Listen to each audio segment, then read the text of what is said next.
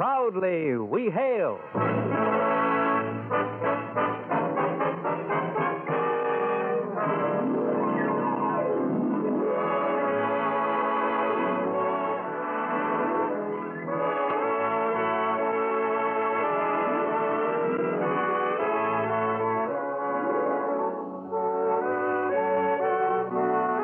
From New York City, where the American stage begins, here's another program with a cast of outstanding players. Public service time has been made available by this station for your Army to bring you this story.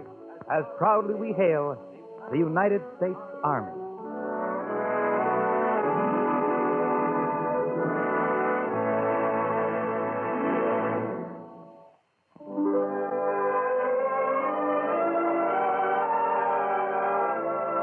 Our presentation is titled One Little Move at a Time.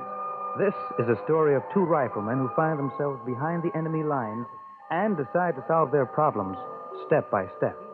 One of them gets a good deal more than he ever bargained for. Our first act curtain will rise right after I talk to all you young gals listening in. Say, tell me, gals, are you kind of tired of the same old office routine? Well, okay, now you can get away from it all. Join the Women's Army Corps. In the Women's Army Corps, you can escape from the humdrum routine of your present life. Visit exciting places in your country and abroad. Make new friends among young men and women all over the world. And you'll have plenty of leisure to enjoy your travels, too. You see, you get a 30 day paid vacation each and every year, plus many, many weekend passes, and of course, the holidays. So why don't you join the WAC? You visit your local United States Army recruiting station and talk it over with the real friendly people there. Remember, gals, you'll enjoy life more in the Women's Army Corps. And now, your United States Army presents the proudly we hail production, One Little Move at a Time. Every time I can get leave from my outfit stationed in Frankfurt, my wife and I get into the car and take off for a visit to her folks in a little French town called Brie. It's a nice trip through interesting country. We must have made it at least a hundred times. But it never fails. As soon as I see the road marker which reads Bree, I always start thinking of how it was the very first time I was there. It'll be uh, 11 years now, but I remember it as though it were yesterday. And it always starts me off. Here I am married to Annette, happy about the whole thing. And yet, if I hadn't happened to be at the CP that night back in 44, if Sergeant Downs had had a better sense of direction, if a particular German soldier whose name I'll never know hadn't happened to be asleep at his post, well, who knows? My wife Annette is French, and she's a girl from Brie. She's very romantic and sentimental. When we hit the outskirts of Brie, she starts reminiscing, too. You know, she believes that fate brought us together. Well, I'd go with that, but not in the same direction. The night when you and Sergeant Downs burst into Papa's workshop? Yeah. I knew even then that one day we would be married. Yeah, I'll bet you did. Oh, look, there were many boys in the town, but I could have married them, but not me. I would have none of them. I always said, my marriage has been made in heaven, and I will know the man when I see him. All right, if you want to keep all the facts straight. The only reason you met me was because it was raining. Well, the rain does come from heaven, does it not? Oh, your face was so dirty, and you needed a shave. And your clothes were all covered with mud. And you had your rifle pointed straight at me. There was a carbine. And I said to myself, this American soldier, one day he will be my husband. Isn't that the payoff?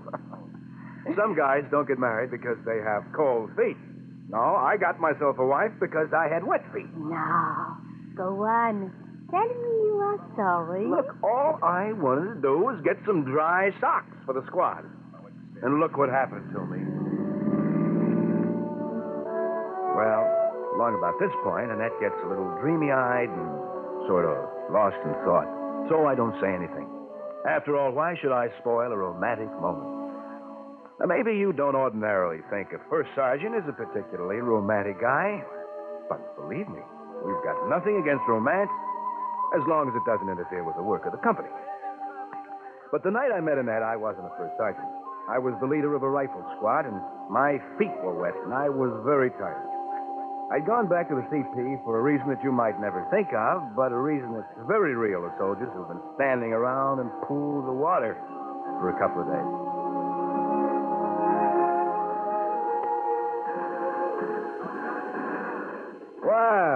It isn't Haynes. Well, hi, Sergeant Downs. Say, where is everybody?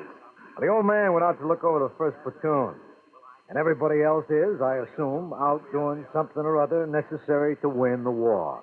Now, what can I do for you? Well, Lieutenant Mayberry said for me to come back here and see if I could get some dry socks for the men of my squad. The cooks are supposed to be drying out a whole batch of socks for the men back at the kitchen. Gordon went for 'em. He ought to be here soon. How is it up in the line? Wet. I'll send Gordon back with the socks and some hot coffee. Well, I hope he shows up before we have to move out. F Company has to take that town up ahead. Uh, what's the name of it again? Bree. Oh, yeah, yeah, Bree. And we have to support them on the left. Uh, let me get that phone. Easy one. Come in, easy one. Come in. Who is it, Sergeant Down? Uh, it's battalion, sir, for you. I'll take it. Easy one. We've been waiting. I haven't had any word. Yeah, right. Hasn't there been any word from F Company, Sergeant? No, sir. F Company is supposed to be in Bree now. Sergeant Henry, Yes, sir? are you ready to move the CP? Yes, sir. Are the messengers here from each platoon? Yes, sir. We're supposed to move out to support F Company, but as it stands, I have to wait till the battalion gives the order. Downs, you've been here all the time? Yes, sir? Have you heard from Captain Wilson of F Company? Not a word, sir. Well, what's the situation there in Bree? Has F Company gone in? Are they waiting or what? Downs, Yes, sir? you know the route F Company took. Find Captain Wilson and see what the situation is. Take a man with you. Report back as soon as you can. Yes, sir. Let's go, Haynes. Huh? Hey, wait a minute, Downs. All I did was come back to get some dry socks for my squad. Well, that's how it goes. Say, what do you figure happened to F Company? Uh, we found out what had happened to F Company, all right. Just a few minutes after we left, the news came in on the phone to Captain Rhodes, the CP. F Company had waltzed into Bree ahead of schedule. There was no resistance. It seems the German commander had goofed. He thought his orders were to withdraw. Well, his colonel straightened that out in a hurry. The Jerry's counterattack with a whole regiment and F Company had to get out of there fast. Now, as I say, we found it all out, but quite a bit later. As a matter of fact, almost too late. As we approached Bree, all was quiet. But suddenly, it seemed as though there was an earthquake.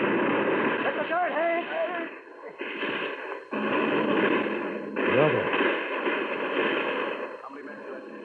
Where does that seem to be coming from? Well, I hope I am wrong, but it it seems to be on both sides. That's what I thought. That machine gun fire, that's ours, you can tell. Yeah, but it's over to the right. F Company must have pulled back. Oh, that's great. What are we doing here? You got someplace to go? Don't budge out of this ditch. Yeah, but where are we? Near as I can figure, Bree is just over to the right. That's where all the firing's coming from. Uh, ah. Oh, it stopped. Yeah. Well, uh, uh, what do we better do? The question is, who's on first? Or who's in Bree? Did F Company pull back or didn't they? Well, that's what the old man wanted to know. Come on. Where are we going? We're going into Bree. Whether we stay there or not, what kind of welcome we'll get is something I'd rather not discuss at this time. We were in a wooded area, the outskirts of the town. We moved as quietly as we could. Now, actually, you might think our problem was quite simple. All we had to do was find out who was in the town. But in combat, things that seem simple have a habit of becoming complicated. Now, you might suppose that the F Company commander would telephone, but his lines could have been cut. He could have used radio, but his equipment could have gone dead. Now, he could have sent a runner back, but the runner could have been captured. The reason I'm saying all this now is because that was what was going through my own mind at the time. And that's what I keep telling the men in my own outfit today. No machinery or equipment or a weapon has ever been invented that's going to replace a man himself. There's no such thing as a foolproof, mechanically perfect war. But uh, getting back to Sergeant Downs and me in the woods in front of Bree, we came to a path that wound among the trees. Now, we hadn't walked more than 50 yards when we heard voices coming toward us. You didn't have to be a professor of languages to know that the voices were not speaking English. We both dived behind some underbrush and we waited.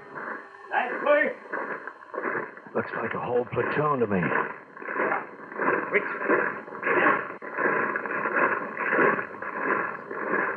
I guess they went past us. Let's get out of here. Hold it. I hear steps. yeah Hey, we almost ran right into those two. Yeah. That must have been Gerhardt and Fritz lagging behind. Look like two typical gold bricks to me. Where do you where do you figure that Jerry platoon is heading? I think they're digging foxholes. If they're digging foxholes in front of Bree, that means they must be in Bree. Let's see if we can get back. Well, we sure can't go through them, Downs. I know. So we'll just have to get around them. You hear that? Yeah, mortars. Yeah, ours. And there'll be artillery, too. That means we're going to counterattack. But first, they're going to plaster these guys. That's a good idea. The only thing wrong with it is that we're out here, too. We have to find some cover somewhere. Yeah, where? I don't know. But we can't stay here. I, uh, I once had a grandfather who used to tell uh, tall stories about the time he was a sea captain. And his favorite story was the one about the time his ship was on fire, and the water was full of sharks, and there were no lifeboats. I remember he said, um, Well, sir, the flames drove me to the rail, and I had to jump overboard right into the mouth of the sharks. So when I asked him what happened, he said, uh, Oh, nothing. I, the sharks ate me. that was a story I kept thinking about now. The Germans were all around us. We had no place to hide. And our own shells were starting to fall close. We started to run through the woods because the worst place you can be when mortars are coming is under a tree. We reached the edge of the woods and we could see some buildings in the distance. We stopped running. Now, even though the shells were still coming in and our hope of safety was in somehow getting into a cellar, we just had to stop. There were sure to be Jerry's in the houses. Now, just then, a mortar burst no more than 20 feet away. That decided us. We just had to take our chances. So we ran for the nearest house. Suddenly, Downs tripped and fell into a hole. It was well camouflaged. We hadn't seen it. I dived in after him, and Downs was rolling around on the bottom of the hole, fighting with a German. Don't let him yell. Hug him. Yeah. I should take care of him for a while. Wow. I fell right into the hole with this guy. He's got one of their light machine guns. How come we didn't spot him from the woods? Never mind that. Lucky he didn't spot us. You know why? He was asleep. Yeah. I fell right on him and woke him up. We're buying time, all right. The only trouble is we're all we're getting is a couple of minutes at a throw. Now you take this joker. He's bound to have a buddy. Where's his buddy? Uh, talk about the devil. Uh, that means exactly what it sounds like. He wants Heinrich to come here. Where's here? Sounds like he's in that house. Oh, sounds like he's getting a little nervous about Heinrich. Hey, what are you doing? I'm going to put on Heinrich's helmet. Just poke my head over the edge and see what's up. Oh, I hope this guy doesn't get a notion to come out and look for Heinrich. That's exactly what he's doing. There's three of them coming out the house heading this way. Now what? Yeah, well, what? They're stopping.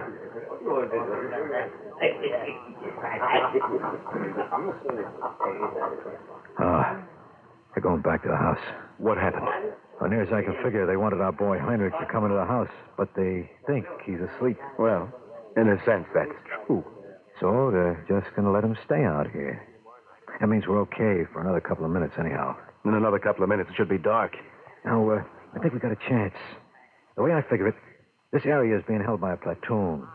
We saw most of them go out past us, where they're probably going to dig in. Platoon headquarters is probably in that house. We know there's at least three of them in there. The Jerrys who are out digging foxholes are going to stay where they are. The three of them in that house aren't going to come out here in this rain. Now, just as soon as it's dark enough, we can start looking for a place where we can sneak through to the outfit. We better move fast. There's going to be a counterattack. I'd sure hate to be caught in the middle. Why don't we worry about just one thing at a time? Why did it have to be me? Why did I have to go back to the CP for those miserable dry socks? Just think, I wouldn't even be here now. Now, you sound bitter. You should never be bitter. It makes you grow old before your time. I should only live to grow old. You will. One day you'll have grandchildren. And You'll rock them on your knee and you'll tell them all about this. But you'll probably build it up. Make it sound like you knocked off the whole German army all by yourself. Hey, uh, what's that? Ah. Looks like one of their Volkswagens. Stopped by the house. A guy's getting out. Looks like an officer. Oh, no. What does he want? Uh-oh. Wouldn't you know it? Don't like the idea of being in the house, he wants him out here in the hall. Yep. That's right. Did they come out? How many grenades you got? Uh, three. Look, I can't hear what he's saying to him, but it's a cinch he's giving him what for.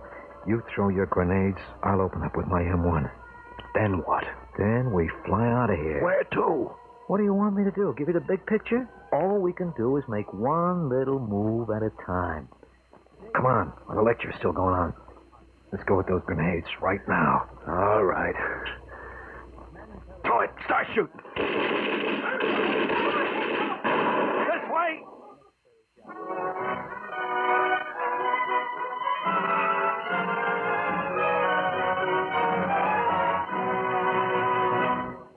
Your United States Army is presenting the proudly we hail production of One Little Move at a Time. And one little move at a time, the right one, is all it takes to secure your future. Today, American soldiers get the finest technical training in the world. Every man is a specialist, a master at his job. And the Army sees to it that every man is trained to do his job, and what's more important, to do his job right. Because the Army is growing so rapidly, today's soldiers are being promoted fast. Oh, you work hard, sure, but, well, believe me, the rewards are really well worth it. Right now, the Army needs healthy, intelligent men and women, volunteers from 18 to 34. So if you've got what it takes, then you think seriously about an Army career. Stop in at your nearest United States Army recruiting station today. Get all the facts about what the Army has to offer you. You are listening to Proudly We Hail. And now we present the second act of One Little Move at a Time.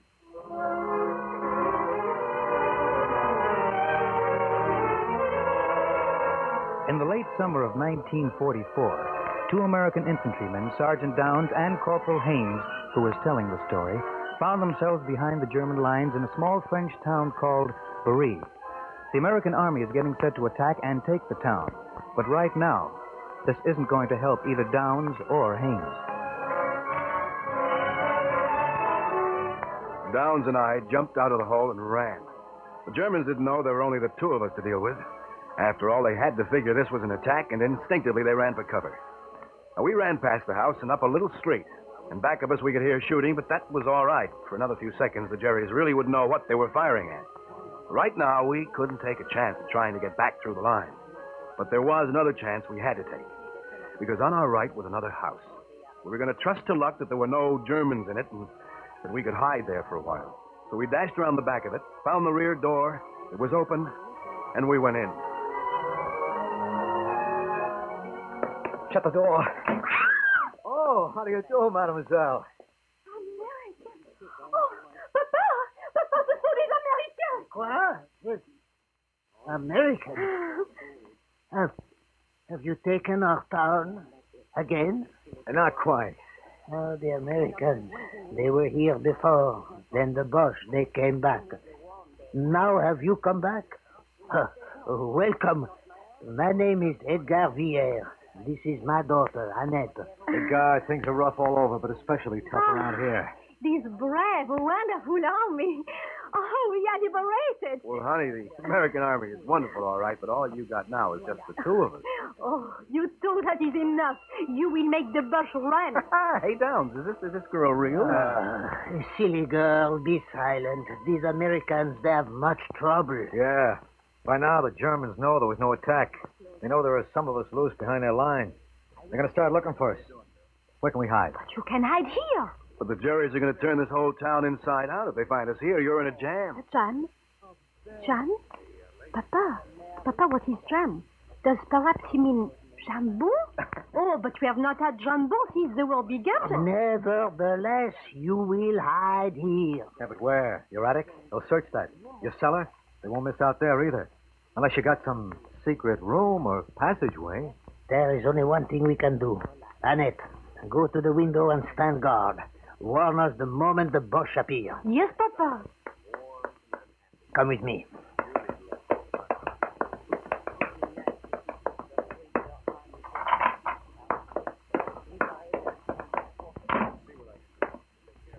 What's this? What does it appear? It is my workshop. I am the carpenter of Brie. You will hide here. Here? Well, I don't see where we can. sure.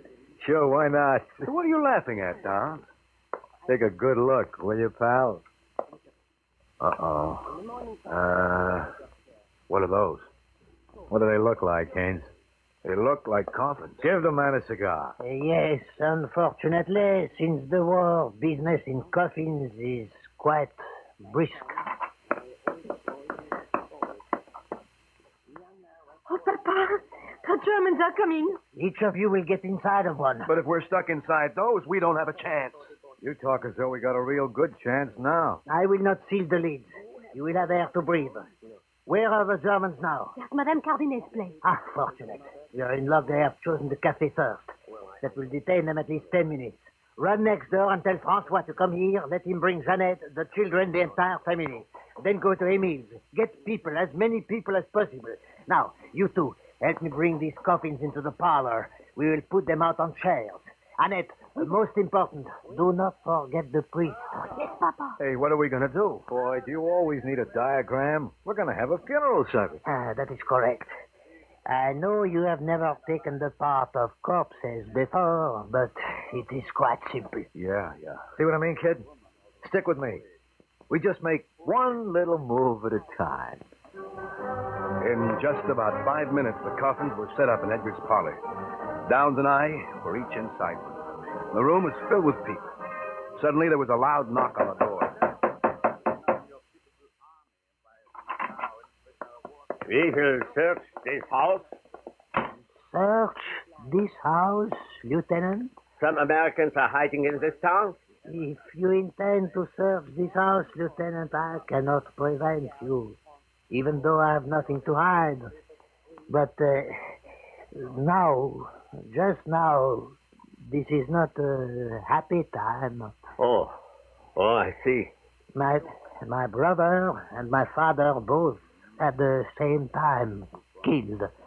I'm sorry, but it is war. An artillery shell entered their house. I hope it was an American shell. I, I have my duty to perform. I understand.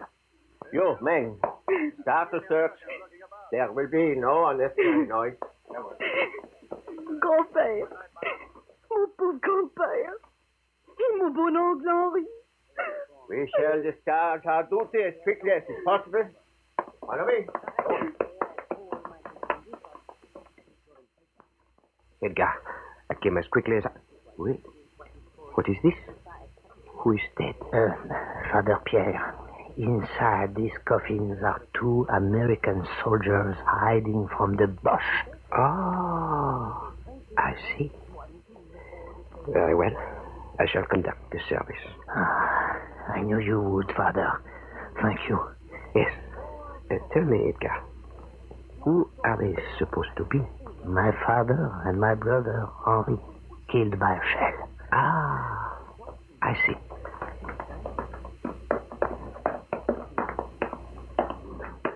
All is in order here. You may continue with your service. Hello, mitkommen.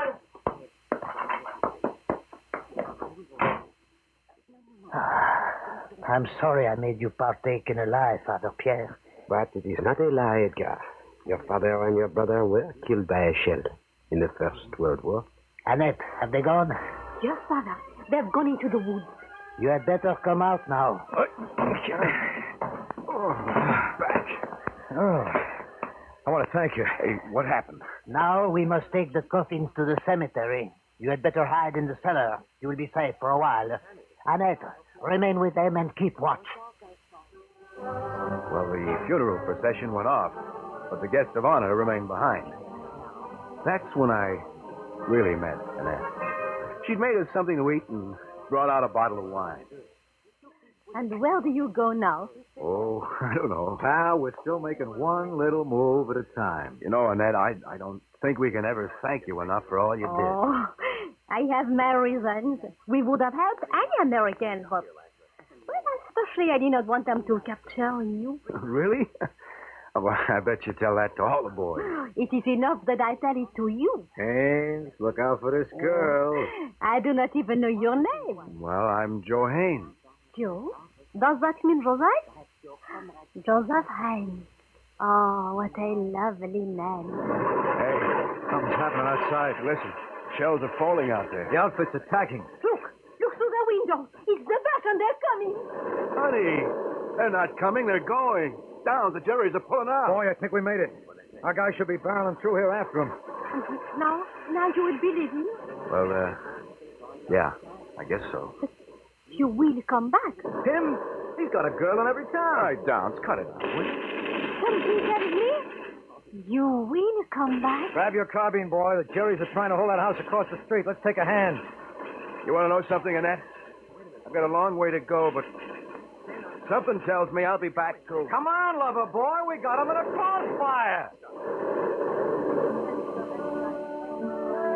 Well, I did come back. And Annette says it was fate. I say I never would have met her if my squad didn't need dry socks. We argue about all the time, but neither of us care. We've been married almost ten years now, and believe me, that's the most serious argument we ever had. Of course, Sergeant Downs, who was the best man at our wedding, has his ideas, too, like Downs always said. Boy, when you're in a jam, just make one little move at a time. You'd be surprised where it leads you. Sure. it led me right to the altar.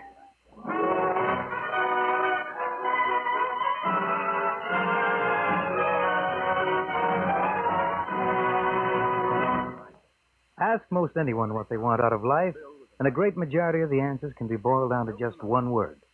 That one word is happiness. Well, now, happiness is a lot of different things to a lot of different people, but basically, I guess you might say that it's the achievement of your goals. To be happy is to be successful in whatever you do. And in today's highly specialized world, training is the key to success. If you're a young man of service age, you can get free training worth thousands of dollars by enrolling now in your United States Army's new Reserve for You training program. Now, under this plan, you can enter the course of your choice and be trained in such interesting fields as X ray operations, photography, automotive maintenance, and communications. In all, there are over 100 courses to choose from. So, for complete information on how you can benefit from this program, you visit your local United States Army recruiting station.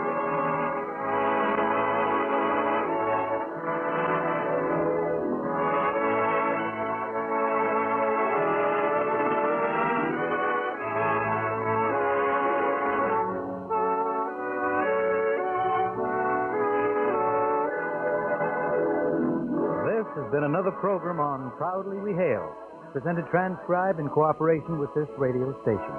Proudly We Hail is produced by the Recruiting Publicity Center for the United States Army, and this is Corporal Richard Hayes speaking, and inviting you to tune in the same station next week for another interesting story on Proudly We Hail.